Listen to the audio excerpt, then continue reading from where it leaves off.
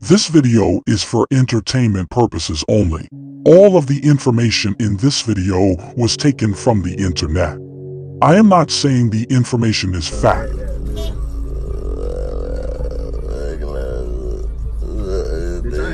right now. though. I don't know. Would know the camera on is uh uh uh uh uh fuck it.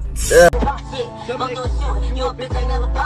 shit. Ain't never shit. Make your music. Don't to you can't start shoot move. I got lawyer fees till the feds. Don't ever do it. Don't bring this up. We get into it. Try to buy my shorty a notebook, but he wants some bullets. He done shot that bitch city. Now he tryna make a money. He don't want it. On November 29th, 2021, Broward Sheriff's Office deputies responded to Cleveland Clinic after receiving a report of a subject with a gunshot wound to the head. The victim, Trashin YB Martin, was brought to the hospital by his friend named AJ. Unfortunately, Trash and YB Martin succumbed to his injuries caused by the gunshot.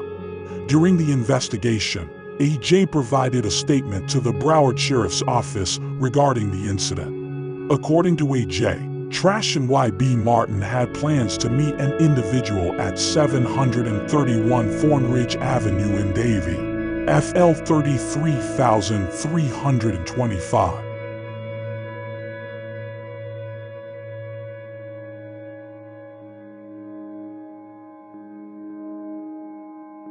According to the account, YB was supposed to receive a credit card from the subject.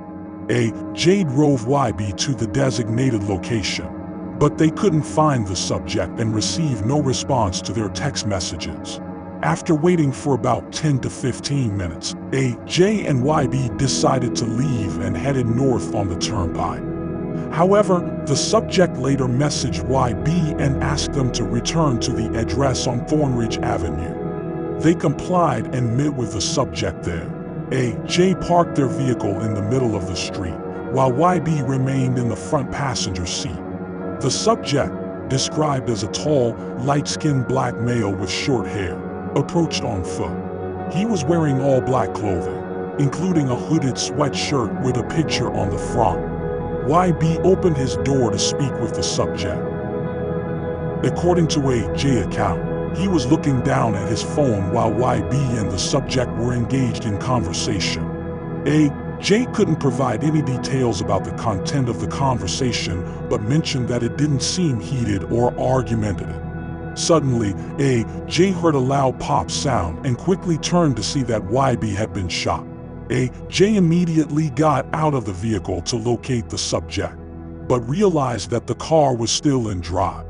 After putting the car in park and exiting, the subject had already disappeared from sight in a hurry.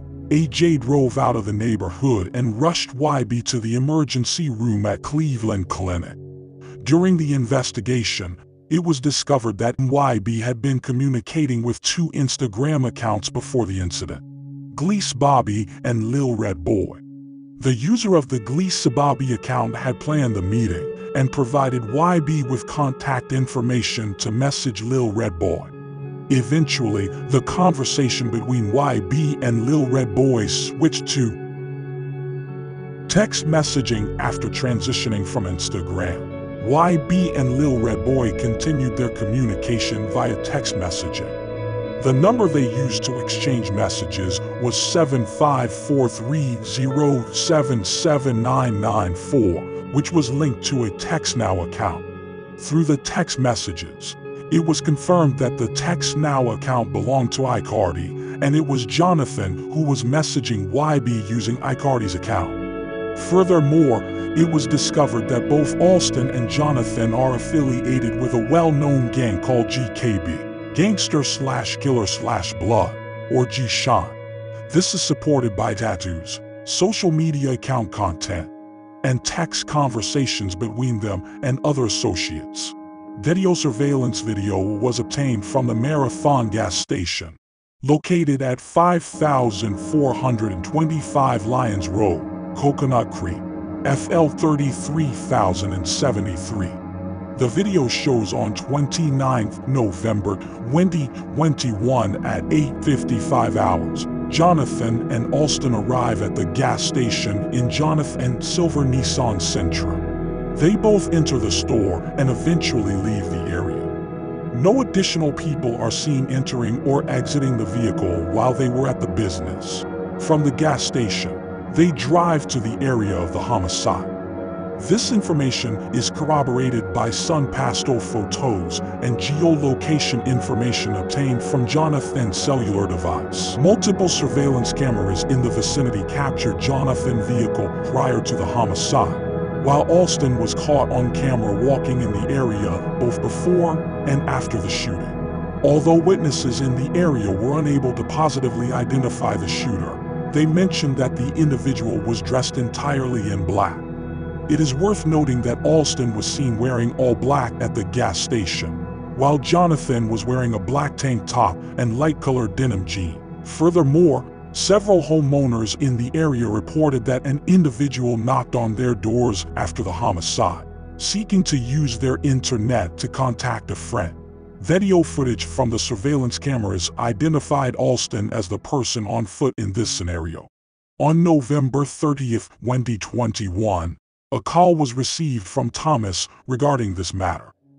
A person knocked on Thomas' door at his residence located at 710 Willow Grove Terrace, Davie, FL 33325. The individual requested the internet password to call his friend for a ride. Thomas described the person as a light-skinned black male, approximately 16 years old, dressed in all black and wearing a red bandana around his neck. The person introduced himself as Red to Thomas. Thomas did not open the door but spoke to Red through the front door's peephole. He refused to provide the internet password but offered to make a call to the friend on Red's behalf. Red agreed and provided the phone number 9549451107 belonging to his friend AJ.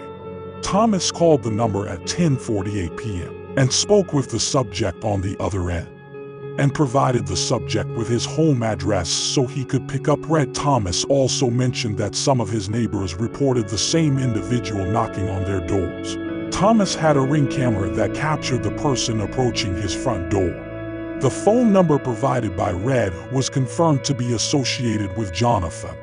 It is worth noting that Alston, as seen in the footage, was wearing a black hooded sweatshirt with a picture printed on the front similar to what AJ had described in his statement to the police. On December 9, 2021, detectives from the Sunrise Police Department and other detectives from the Davie Police Department provided assistance in identifying Alston Jr. and conducting a search of his residence. One Apple iPhone was seized from Alston Jr. during this process. Alston Jr. expressed his willingness to speak with detectives regarding the investigation and agreed to be transported to the Davie Police Department for further questioning. During the search of Alston Jr.'s residence, law enforcement officers discovered and confiscated several pieces of clothing. Notably, a red bandana and a blue surgical style glove were found beneath Alston Jr.'s mattress. The bandana matches the one he was observed wearing on November 29, 2021. While executing the search warrants, detectives met with Alston, who voluntarily agreed to proceed with the conversation without the presence of an attorney.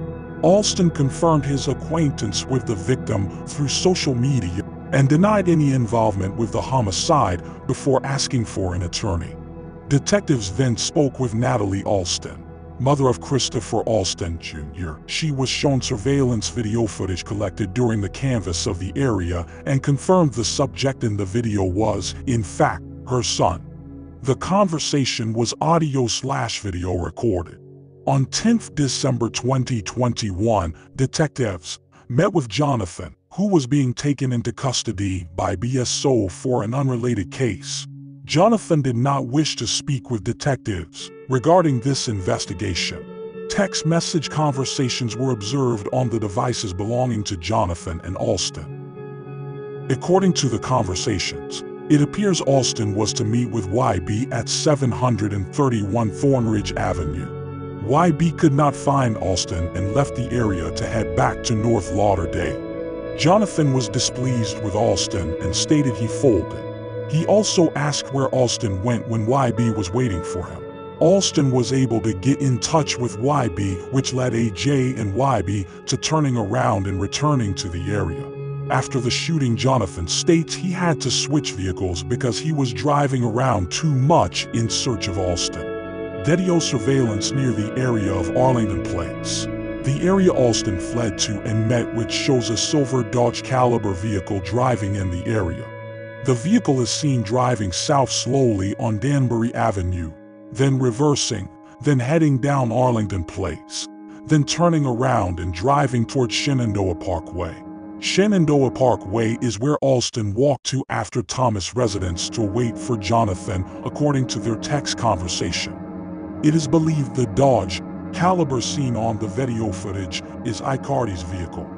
Another text conversation of interest was located on Alston's device.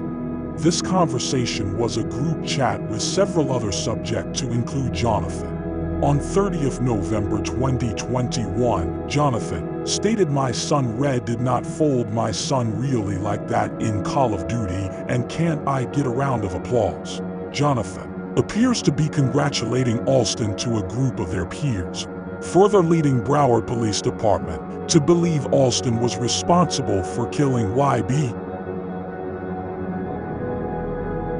After the charges were brought by the Broward sheriffs, YB's mother took to her Instagram to share posts featuring both Alston and Jonathan, implicating them in the murder of her son. It was later discovered that Alston is a rapper who openly references his gang affiliation in his music, giving shout-outs to his gang. YB Mother responded to the arrest of Alston and Jonathan, the individuals responsible for her son YB death, by expressing her thoughts and considering her options regarding both the killer and his accomplice. Crazy part is they just crash dummies. Ain't nobody stupid enough to believe they just killed my son when they ain't have no pressure with him. And we know they live or used to live in Lauderhill, but it's real cool. You see what God brought forward thus far, watch how much more he bring to the front row. Added mix with Fetty whack ass low kids ain't smoking on nothing jit. Scary ass paying for it instead. Hiding behind a fake page, make anyone tough, you looking real tough.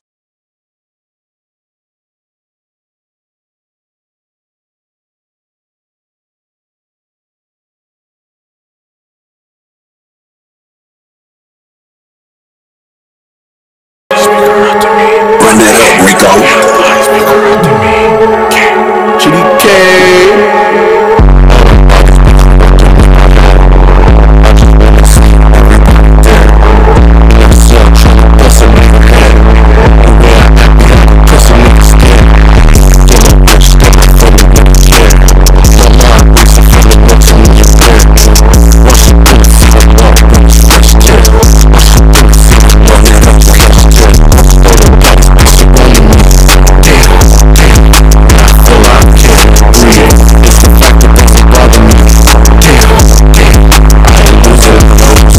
YB was regarded as a prominent member of Snap of Ace. Rumors circulated about him making a large sum of money through Apple Pay schemes.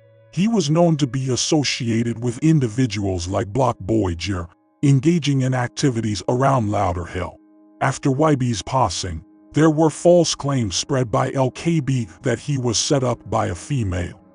Initially, there were suspicions within Broward County that a member of LKB might have been involved in YB's death until official information was disclosed. YB's mother believed in these speculations initially. At a balloon release event in YB's memory, she encouraged his loved ones to confront a specific LKB neighborhood. A close friend of YB, Fetty, received information from LKB about a drop location, leading to where both sides had their advantages. Following YB's death, tensions rose as people aligned themselves with different groups. Despite no LKB members being involved in YB's demise, they placed a bounty on him due to his online provocations towards a deceased LKB member known as K2, who was tragically killed in a car accident just prior to YB's passing. The incident involving K2 was believed to be a targeted attack on his passenger, LKB rapper Mup 6. YB had a falling out with his once friend Lil Crix, partly due to disputes involving a female. Lil Crix refrains from directly mentioning YB in his music, often resorting to indirect references. Members of LKB use the term hood rich as a way to disrespect YB instead of mentioning his name. Following YB's demise, Shift, one posted a disrespectful video on Triller, insinuating that he was celebrating YB's death. Shift, one shockingly admitted to finding humor in YB's unfortunate situation. This revelation sparked a heated exchange when Bloc Boy Jah commented on a post about Lil Crix, referring to Lil Crix as a female dog. Not one to back down, Lil Crix swiftly responded to Bloc Boy Jah's comment, defending himself and asserting his own stance. In an unexpected turn of events, Lil Crix took to his Instagram story to address not only his ongoing feud with Bloc Boy Jah, Lil Crix even went as far as issuing a threat, hinting that he might include the fallen friends of Snap, Ave 7400 in a future song. This move added fuel to the already intense rivalry between Lil Crix and his opponents. Everybody's fake as hell. If nobody, nothing don't happen to these motherfuckers. It's fake as hell. All of Don't y'all. fucking play me. Don't come around here no more. Don't play me. Fucking light fucking Lord of Hell up, Devil's Hunt. Light that shit up. Every fucking body. Fucking everybody shit. Send me a location. What phone card? Sean Brown died after he was rushed to the hospital last month. Police want to know who shot him and why. Brown was driving. when Freddie, Freddie got left in the hood. We turned that bitch to Freddie Drive. I told him not to go. I begged him not to go. I said, Sean, I said, don't, don't, don't be driving nobody car. geography about this particular area. There's only one way in and one way out. Police say they got multiple calls around 11:30 this morning about two cars, one dark, one white, shooting at each other. The driver of the white BMW lost control. You left Freddie ass in the hood, man. That's the one that duty on himself. Yeah, rest in shit. Life is, is too short for this stuff. Life is too short. He's 20 years old. That's my oldest baby. People around here, these kids say what they saw, they need to say something. Don't just say it to me. Tell them. Tell them.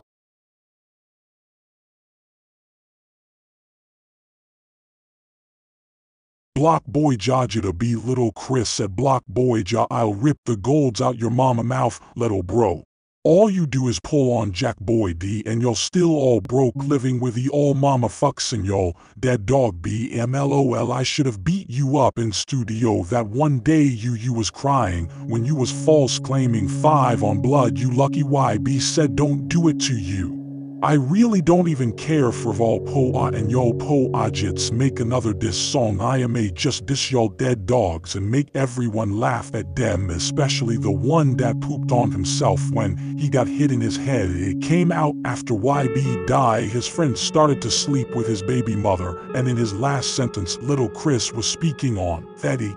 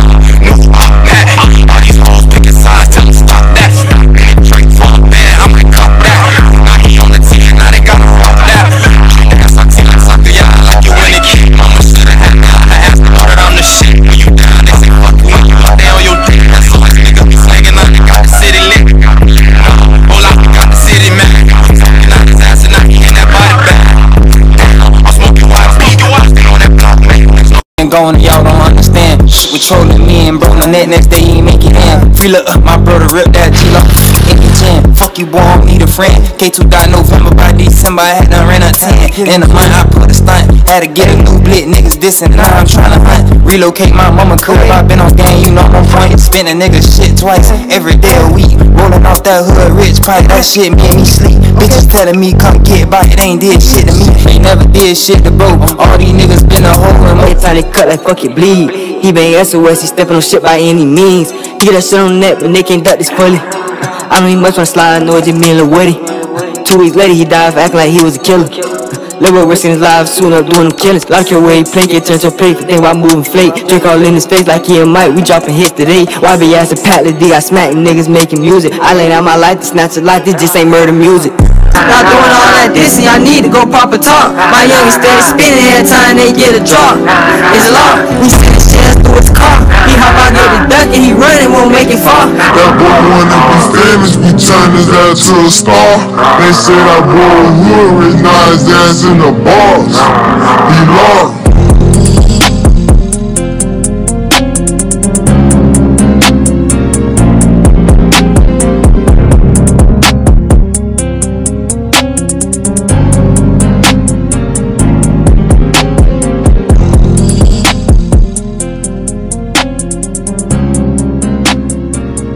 YB's absence is deeply felt by his loved ones, who openly express their grief to the world.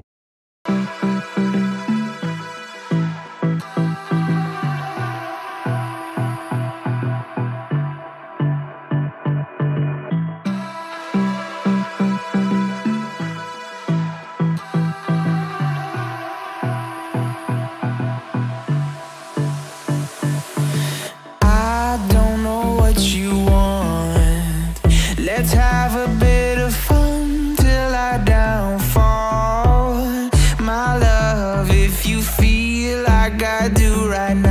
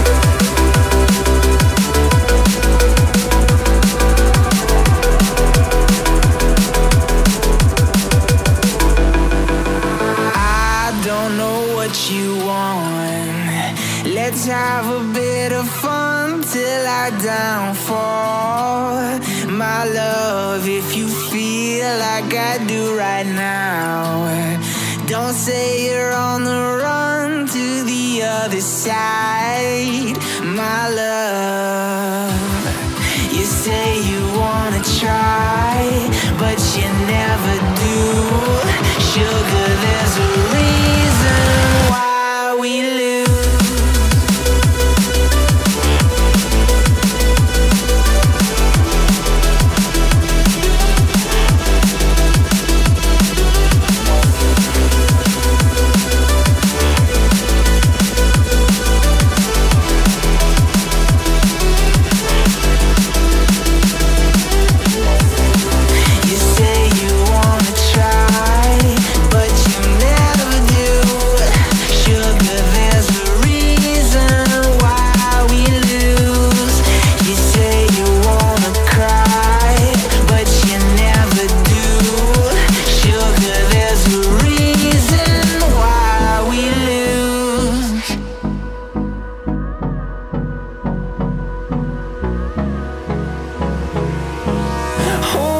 close till I get up. Time is barely on our side. I don't wanna waste what's left. The storms we chase are leading us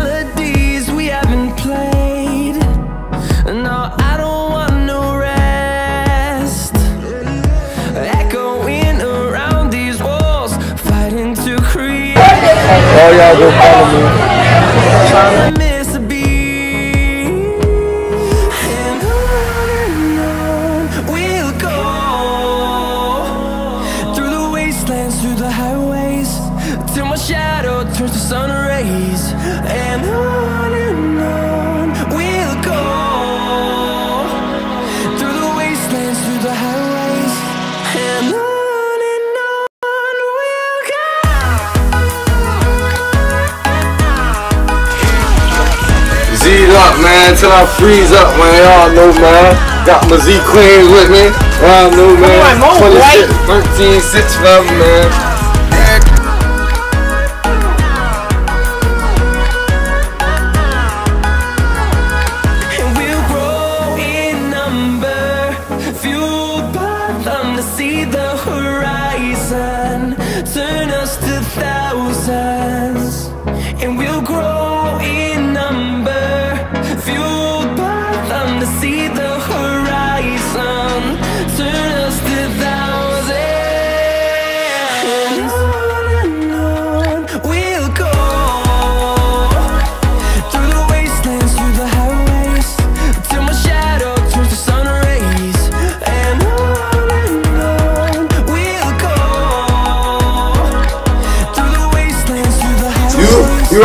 I got you, I love you.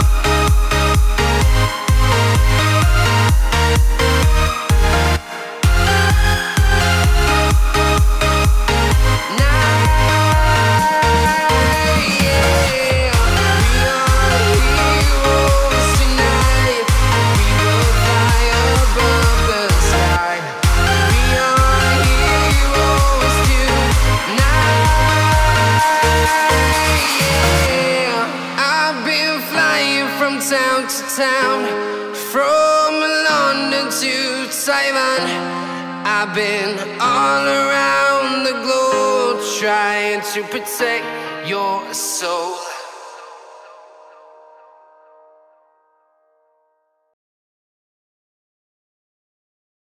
Hi, my name is Terijah Martin, and I'm raising this fundraiser for my little brother Trash and Martin, also known as YB.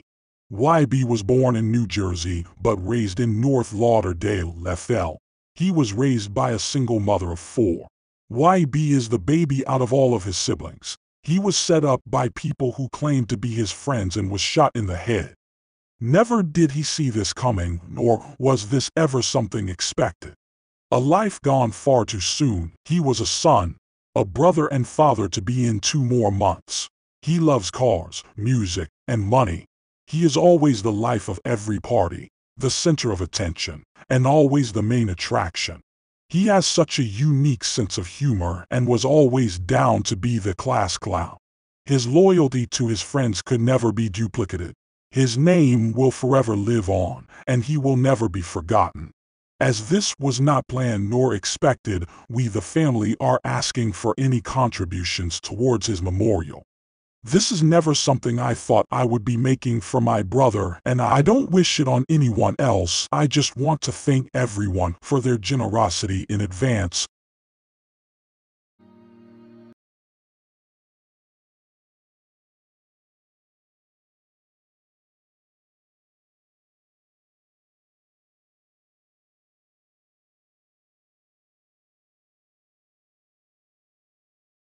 Peace YB.